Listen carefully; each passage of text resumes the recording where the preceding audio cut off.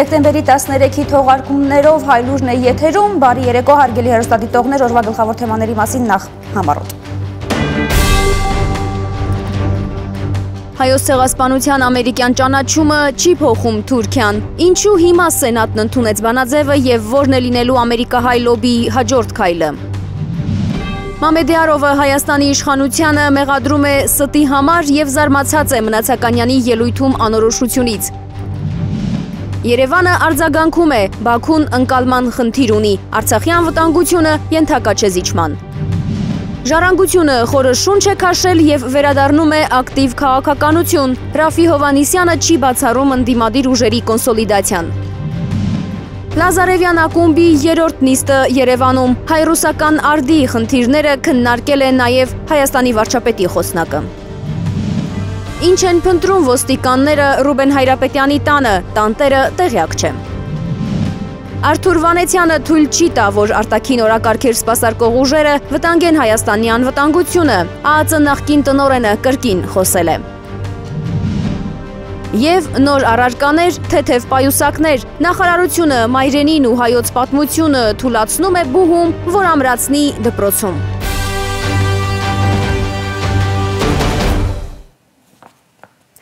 Միացյալ Նահանգների Սենատում հայոց ցեղասպանության ճանաչման բանաձևի ընդունումը փորձագետների կարծիքով նախ եւ առաջ պայմանավորված է թուրք-ամերիկյան հարաբերությունների լարվածությամբ եւ Անկարա Մոսկվա մերձեցմամբ։ Այդուհանդերձ Սենատի այս քայլը Հայաստանում համարում են պատմական եւ կարծում են, որ ընդունված փաստաթղթով Միացյալ Նահանգները դատապարտում են նաեւ Թուրքիայի այսօրվա ապակառուցողական քաղաքականությունը տարածաշրջանում։ Սենատի բանաձևը չի պարտադրում ամերիկյան կառավարության անդամներին եւ նախագահ նախագահին օգտագործել հայոց ցեղասպանություն արտահայտությունը, սակայն Երևանում հույս ունեն, որ այն կարող է օգնել ամերիկացի գործիչներին ազատվել ցեղասպանություն բառը արտասանելու կաշկանդվածությունից։ Հայոց ցեղասպանության ճանաչման համար ավելի քան 15 տարի պայքարող դեմոկրատ սենատոր Ռոբերտ Մենենդեսը չկարողացավ զսպել արդյունքները, երբ խոսեց մեծ եղեռնի սարսափների մասին։ I am thankful that Ես շնորհակալ եմ, որ բանաձևն ընդունվել է, քանի դեռ ցեղասպանության որոշ ականատեսներ ողջ են եւ հասցրին սա տեսնել։ we'll be able to see Եվ մենք դեռ կհամոզվենք, որ սա արժեքավոր որոշում էր։. Հայոց ցեղասպանությունը ճանաչող բանաձևը ԱՄՆ սենատում ընդունվեց միաձայն։ Դեռ հոկտեմբերին կոնգրեսի ստորին պալատը ներկայացուցիչների տունն էր ճանաչել հայոց ցեղասպանությունը։ Բարև ձեզ հարգելի գործընկերներ, Նախ Facebook-ում, հետո կառավարությունում վարչապետ Նիկոլ Փաշինյան անդրադարձավ բանաձևի ընդունմանը։ Պատմական իրադարձություն, այսպես է գնահատում Սենատի որոշումը։ հայոց ցեղասպանության ճանաչումը մեզ համար նաև անվտանգային կոմպոնենտ ունի եւ այդ process-ը կարեւոր է մեր երկրի եւ ժողովրդի անվտանգության ապահովման տեսակետից։ Եվ ուզում եմ ընդգծել, որ ոչ թե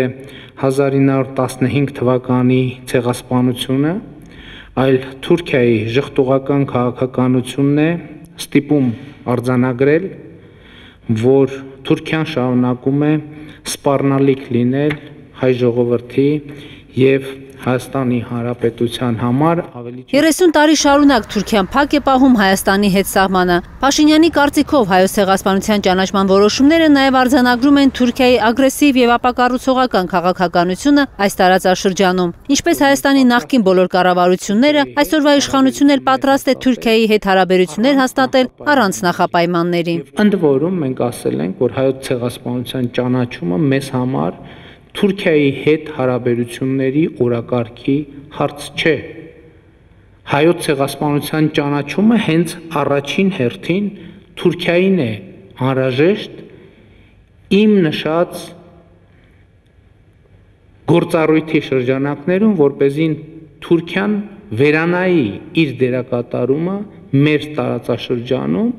որը ցավոք սրտի այսօր այսօրվա իր դերակատարմամբ իմ նշած քայլերի շրջանակներում որոշակի պատմական աղերսներ է ստանում դարասկզբի եւ ավելի վաղ շրջանի իրադարձությունների հետ Մինչդեռ Թուրքիան ամենևին մտադրություն չունի վերանայել իր պահվածքը, դա ակնհայտ է ամերիկյան բանաձևի ընդունման արձագանքներից։ Նախագահ Էրդողանի մամուլի խոսնակ Իբրահիմ Քալանը դատապարտել է Սենատի քվեարկությունը։ Կարծում է այդ որոշմամբ ծեծված պատմական հասկացողությունը ծառայեցվում է քաղաքական մանր հաշիվներին։ Իսկ արտգործնախարար Մևլութ Չավուշօղլուն Twitter-ի իր էջում գրել է. «Պատմությունը քաղաքական նկրտումներին ծայրահեսնողներն ու առերեսվել չցանկացողները պախկոտներ են»։ ԱՄՆ սենատի որոշումը նա անվանել է քաղաքական ներկայացում եւ ասել, որ այն իրավական պարտադիր ուժ չունի։ Ամերիկագետ Սյուրեն Սարգսյանը հաստատում է Սենատի ընդունածը օրինագիծ չէ եւ այն ստորագրության չի ներկայացվելու Թրամփին։ Այդուհանդերձ, ինչու հենց հիմա արեց Սենատը այս վճռորոշ քայլը։ Թուրք-ամերիկյան հարաբերությունները վերջին ամիսների ընթացքում ծայրաստիճան լարված են եւ կարծում եմ սա թուրք-ամերիկյան հարաբերությունների ամենալարված, այսպես ասենք, ժամանակահատվածն է պայմանավորված մի շարք գործոններով թուրք-ռուսական հարաբերությունների խորացմամբ, CIA վերաբերյալ Թուրքիայի գործողությունների իհարկե համատեքստում, ինչպես նաև մերձավոր արևելյան քաղաքականության ընդհանուր տրամաբանության մեջ եւ կարծում եմ, որ այս քայլը հասունացած է։ Քաղաքագետը պնդում է, որ Հայաստանի իշխանությունը որևէ մասնակցություն չի ունեցել գործընթացին։ Հաղթանակի հասնելու գործում մեծ է ամերիկահայ կազմակերպությունների դերը։ Հիմա պետք է աշխատել, որ նախագահ Թրամփ արտասանի ցեղասպանություն բառը։ Դրա համար Սուրեն Սարգսյանի կարծիքով տեղից պետք է շարժվի նաև Հայաստանի իշխանությունը։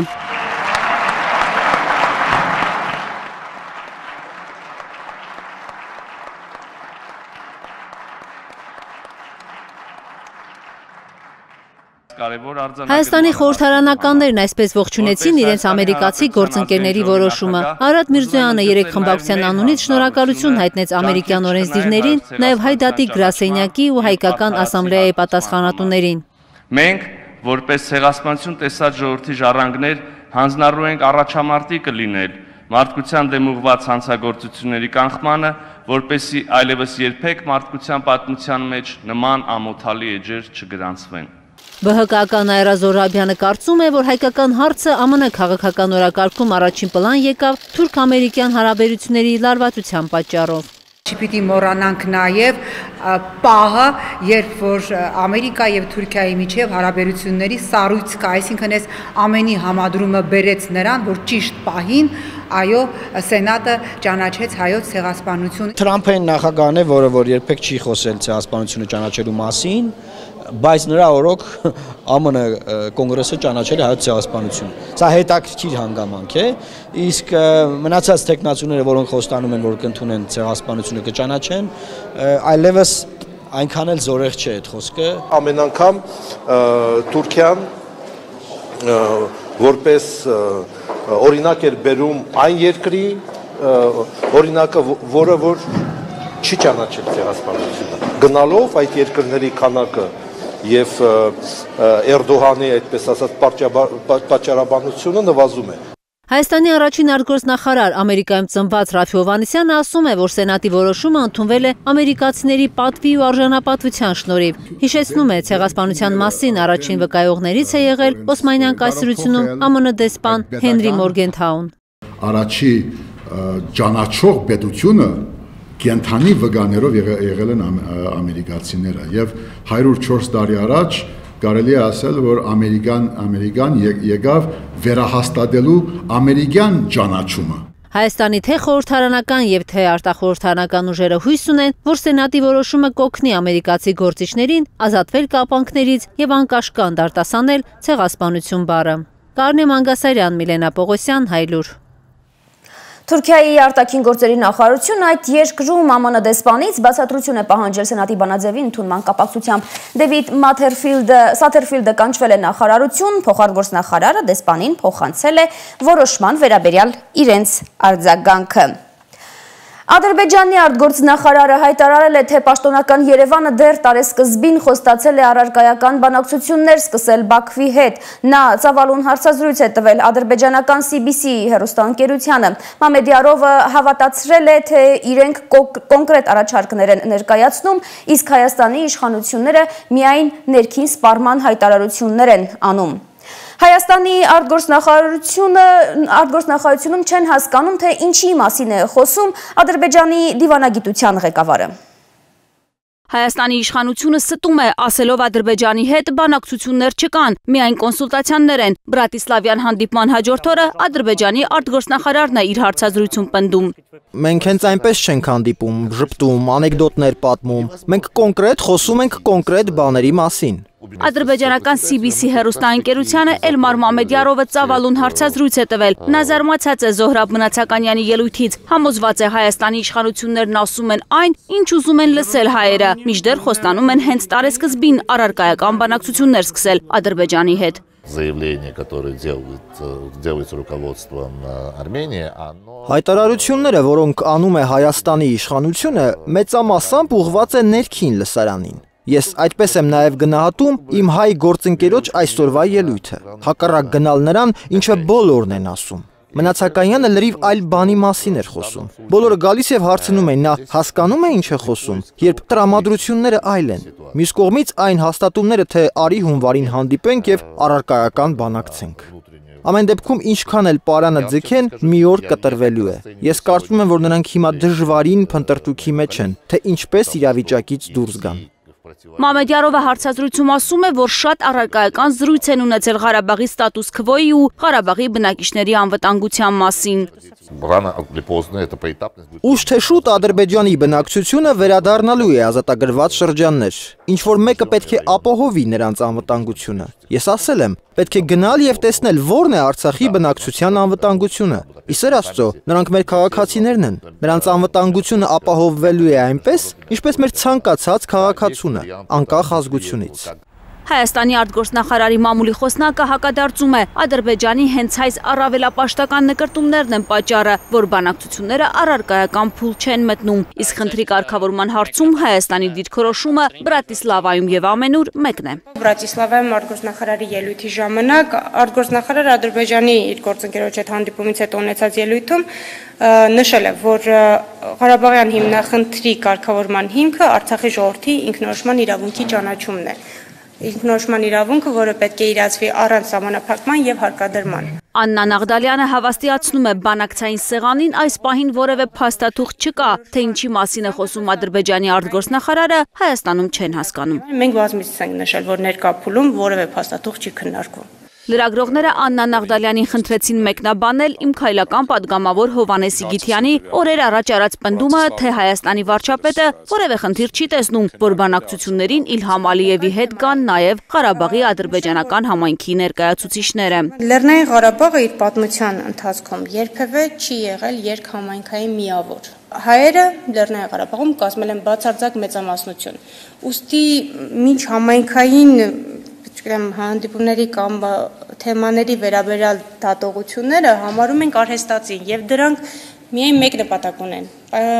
պայմանականություններ մտցնել Արցախի իշխանությունների խաղաղ կարգավորման գործընթացի լիարժեք կողմ դառնալու հարցին։ Իսկ երկրորդ նախագահի գրասենյակի ղեկավարին անհանգստացնում է ոչ թե Մամեդյարովի, այլ Միսկի խմբի համանախագահների ասածը։ Ես չեմ հիշում, որպեսի վերջի տարիներին, տասնամյակներին միջնորդ ուրեմն կողմերից մեկը հայտարարի, որ ինչ որ ադրբեջանական համայնք պետք է մասնակցի բանակցություններին։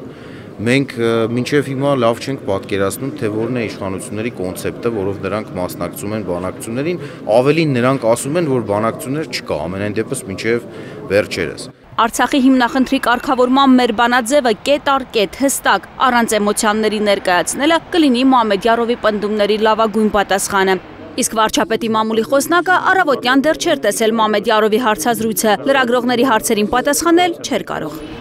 Գայանե Բալայան, Հայլուր։ Շարունակենք Ռաֆի Հովանիսյանը ցանկանում է Հայաստանում. Եսի իշխանությունը դարձնել մենքի իշխանություն, ժառանգություն կուսակցության առաջնորդը 3 տարի շունչ քաշելուց հետո ակտիվ քաղաքականություն վերադառնալու նոր հայտ է ներկայացնում։ Լիլիթ Խալաթյանն է պատմում։ Քաղաքական ասպարեզում հունվարից ժառանգությունը ակտիվ կլինի։ Այս մասին հայտարարել է կուսակցության քաղաքական խորհրդի նախագահ Ռաֆի Հովանիսյանը։ Կներկայանան որպես ընդգծված ընդդիմություն։ Ժառանգությունը իշխանության մեջ չէ, ուստի ընդդիմություն է եւ դուք կտեսնեք հունվարից սկսյալ ժառանգության ավելի ընդգծված մոդեցումները Հովանիսյանը հրաժարվեց ամփոփել անցնող քաղաքական տարին, ասում է դեռ 1 ամիս կա, թողենք աշխատեն, բայց նկատելի սխալները չխուսափեց մատնանշել։ Շատ դարուրինակ է, արդասովոր է, դարագուսելի է, որ մեր զորակցած իշխանությունը վարչապետը բողոքում է այն pedagogan համագարքի մասին, որի գլուխը ինքն է։ Այդ իշխանական pedagogan համագարքը իր եւ իշխանական թիմի գործունեության հայելին է, արդացոլանքն է։ Մի քանի խորհուրդ էլ վարչապետին հղեց մենությունից ազատվելու համար։ Ես շատ եմ ուզում, որ մեր հանրապետության վարչապետը մեթոդապանական այդ այդ մենագու մենագությունից դուրս գա որ մնացյալը մի գոմ ինքը հաղթահարի ինքն իրեն հա որ ալիևս չխոսենք այն, այն բանից որ ես եմ ընդրվել, ես պիտի ջարդեմ, հա, որտեվ սա արդեն ազգային անվտանգության եւ pedagogan ինքնիշխանության խնդիր է։ Սա արդեն եսի մասին չէ։ 2019-ի ներքաղաքական կյանքի մեծ մասը դատական գործերով լծվեցին։ Մարտի 1-ի գործով դատաքննության բացահայտումներին Ռաֆի Հովանիսյանը վաղուց է սպասում։ Հանրապետության վարչապետը ասաց, որ բացահայտված է արդեն բայց բայց սպասում ենք, սպասում ենք։ Մի քանի տարի է ժառանգությունը ակտիվության աչքի չի ընկել, բայց ուշադիր հետևել է բոլոր ուժերին, Հովանիսյանն ուրախությամբ է նշում։ Այսօր ունենք դե յուրե իշխանություն եւ դե յուրե ընդդիմություն։ Տեսնում եմ, թե մի դարվա մեջ ինչպես դերերը փոխվել են։ Հա? Տեսնում թե հեղափոխականը երկու տարի առաջ ինչ էր ասում եւ հիմա ինչպես է խոսում, ինչպես է ապրում, ես կուզենայի, որ հիմա այսօրվա իշխանությունները մի քիչ ավելի համեստ, մի քիչ ավելի ժուժգալ, մի քիչ ավելի զուսպ ապրեին, խոսեին, որպես հեղափոխական, ինչպես հիշեն իրենց ընդդիմության խոսքերը եւ ուզում են ուզում են նախկին իշխանությունները, որ հիմա ուզում են ընդդիմություն խաղալ Եվրոպայում, մի քիչ ժամանակ դային, շունչ քաշեին, միջև իրենք ժողովրդավարական ինչ որ բաներ ասեին. Աշխարհը գույր չէ։ Մի քիչ բոլորի գոմից բարգեշտություն շունչ քաշեցեք, տղեկ։ Ժառանգությունը իր բաժին շունչը քաշել է թարմուժերով սպասում են 2020-ին։ Չեն բացառում, որ հնարավոր է ընդդիմադիր ուժերի կոնսոլիդացիա լինի։ Լիլիթ Խալաթյան, Աշոտ Մնոյան, Հայլուր։ Վարչապետի մամուլի խոսնակ Վլադիմիր Կարապետյանը չի կարծում, որ երեք կառավարության վերջին նիստում վարչապետ Փաշինյանն իր հայտարարությամբ հող էր պատրաստում նոր կրճատումների համար։ Ինչպես հիշում եք, Նիկոլ Փաշինյանը հայտարարել էր, որ պետական համակարգը դիմադրում է հեղափոխությանը եւ որ նա ջարդելու է այդ դիմադրությունը։ Բազմիցս կառավարության ղեկավարը ասել է, որ 95 ավել տոկոս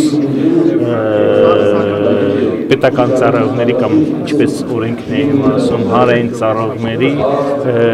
մնացել է նախկինից որևէ ջարդ չի եղել եւ չեմ կարծում որ ջարդի նախանշաններ կան միևնույն ժամանակ վարչապետը շատ հստակ իր վերաբերմունքն է հայտնել տեղի ունեցող գործընթացների վերաբերյալ եւ կարծում եմ մենք բոլորս հետևություններ կանենք իր վերաբերմունքի վերաբերյալ Իդեպ աշխատանքի և սոցիալական հարցերի նախարար Զարուհի Բաթոյանը հայտարարել է, որ իր գլխավորած գերատեսչությունում բարեփոխումները հանդիպում են դիմադրության։ Նա հայտնել է կառուցվածքային փոփոխությունների մասին, սակայն չի նշել, թե արդյոք դրանք դրանց արդյունքում կրճատումներ կլինեն։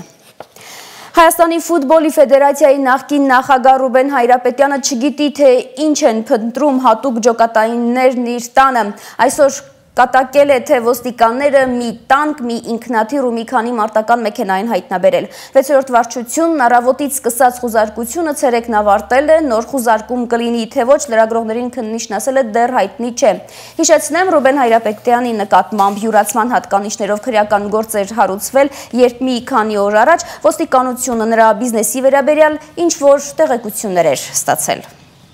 Ինչ են ձերբակալում եւ չեն ձերբակալել երկու։ Դուք ազատ իզուր տեղը մի կանգնեք։ Այդ գնացեք Արմեն եւ Արմեն եւ Դիկողոսյան ու Արմեն Նիկոսյան այդ մատնաչափից է։ Շարունակվում է խզարկությունը։ Ֆեդերացիայի հետ է կապված բան։ Միոպ, ներս մի եկեք, սա սեփականությունը դուք Շարունակում է խոզարկությունը։ Ինչ որ բան գտել են, որ ինչ որ բան գտել են խոզարկությունը։ Հա, մի հատ այդ բանը Սու 35 սաբանոտ են գտենք տաթիր մի հատ 90 տանկ, էլ մետրո բեմբե։ Ազգային ժողովի նախկին նախագահ Արա Բաբլոյանի եւ ազգային ժողովի աշխատակազմի ղեկավարի նախկին տեղակալ Արսեն Բաբայանի քրեական գործի նախաքննությունն ավարտվել է։ Գործը հատուկ քնչական ծառայությունը փոխանցել է դատախազին այն դատարան ուղարկելու միջնորդությամբ։ Հիշեցնեմ, որ քրեական այս գործը հարուցվել է սահմանադրական դատարանի լիազորություններին տիրանալու, նաեւ պաշտոնեական կեղծիք կատարելու դեպքերի արդիվ։ Ազգային անտանգության ծառայության նախկին տնորեն Արթուր Վանեցյանը պատասխանել է ծառայության ուղությամբ հասարակական որոշ գործիչների հարցակումներին նրանց անվանելով դատարկաբաններ։ Ազգային անվտանգության ծառայությունը սահմանափակված է պաշտոնեական էթիկայով, բայց սա չի նշանակում, որ ում մտքով ինչ դատարկաբանություն անցնի, պետք է հրապարակավ հնչեցնի սպաների հասցեին, ասել է Վանեցյանը ժողովուրդ օրաթերթի հետ զրույցում։ Նա հայտարարել է թույլ չի տալու, որ կեղծ իրավապաշտպանները արտաքին օրակարգեր սպասարկող անձիկ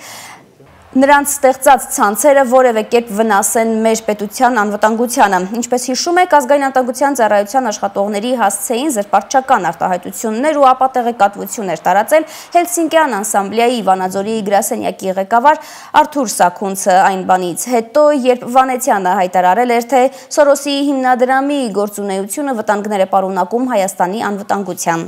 համար։ Կրթության նախարարությունը նոր թափով դպրոցական առարկայական ցանկերն է թարմացնում։ Փոխնախարար այսօր ծրագրի մեկնարկի ասուլիսին չի նշել, թե որ առարկաներն են դուրս գալու դպրոցական կրթական ծրագրերից։ Ինչպես հիշում եք, արդեն տևական ժամանակ է քննարկվում է կրթական ծրագրերից հայոց եկեղեցու պատմություն առարկան հանելու նախարարության մտադրության հարցը։ Սրան փոխնախարարը չի անդրադարձել։ Արևիկ Անապիոսյանը միայն ասել է, որ փոխվում են բոլոր առարկաները, այդ թվում հայոց լեզուն։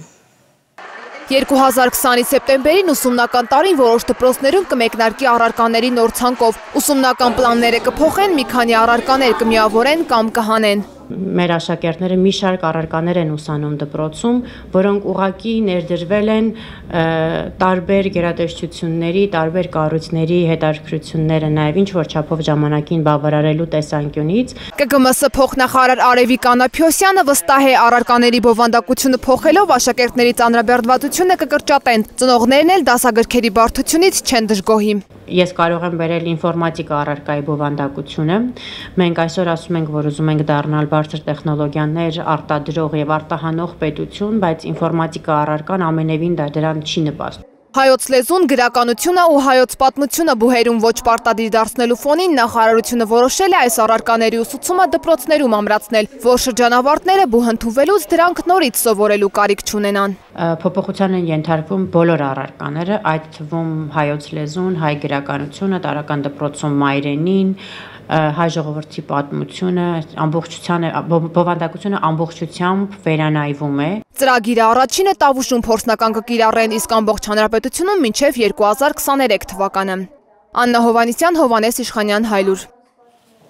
Անցնենք միջազգային լուրերին, Մեծ Բրիտանիայի խորհրդարանական ընտրություններում պահպանողականները ջախջախիչ հաղթանակ են տարել խորհրդարանում, ստանալով 350 տեղ։ Վարչապետ Բորիս Ջոնսոնի առաջնորդությամբ 5 շաբթի խորհրդարանական ընտրությունների արդյունքներով նրանք ստացել են բացարձակ մեծամասնություն։ Ջոնսոնը նշել էր, որ հաղթանակը իրեն իրավունք կտա Brexit-ի գործընթացը ավարտին հասցնել եւ դուրս բերել Մեծ Բրիտանիան Եվրամիությունից հաջորդ ամիս։ 650 աթորից 195 բաժին է հասել լեյբորիստներին։ ԱՄՆ նախագահ Դոնալդ Թրամփը շնորհավորել է Ջոնսոնին մեծ հաղթանակի կապակցությամբ։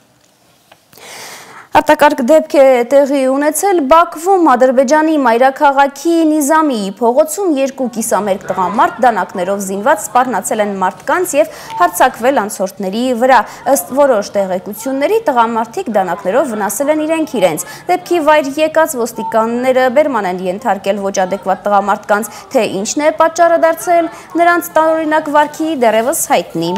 չէ։ Սեքս սկանդալի մեջ հայտնված հոլիվուդյան հայտնի պրոդյուսեր Հարվի Վայնշտայնը համաձայնության է եկել իրեն մեղադրող կանանց հետ։ Մոտ 3 տասնյակ կին գումար կվերցնի նրանից ու կհրաժարվի մեղադրանքներից։ Վայնշտայնին սեռական հետապնդման համար մեղադրողները կստանան 25 միլիոն դոլար։ Անցած տարվանից հայտնի պրոդյուսերի կողմից բռնաբարվելու մասին պատմել է առնվազն 8 կին։ Ավելի քան 80-ը հայտարարել է նրա կողմից սեռական ոտնձգությունների մասին։